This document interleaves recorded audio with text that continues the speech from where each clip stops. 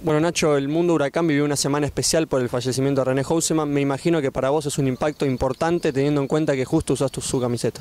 Sí, bueno, eh, tuvimos la, triste noticia del fallecimiento de René.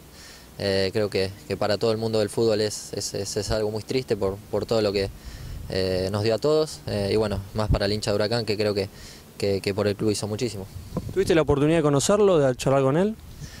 Tuve la, la, oportunidad de saludarlo. Después eh, no, tuve la, posibilidad de, tener contacto, de, charlar un poco con él, eh, pero bueno, uno, uno siempre eh, lo tuvo con, mucha admiración, lo miré desde siempre, no, no, soy contemporáneo por ahí a, él, pero bueno, por ahí de mis abuelos y, mis padres que, lo pudieron ver me comentaron lo que fue él. ¿Qué te comentaron tus padres, tu abuelo? Este, porque justo jugaba en una posición similar a la tuya.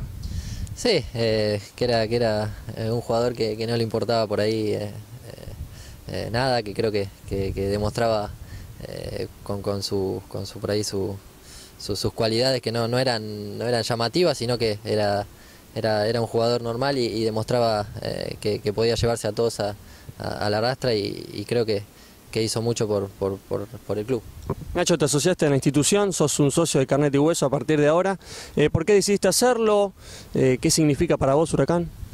Creo que eh, con esta campaña todos, todos tenemos que sumarnos, necesitamos que, el club lo acompañe la gente, a un club lo hace la gente, así que tenemos que estar todos unidos para, que Huracán vuelva a hacer lo que fue en años anteriores.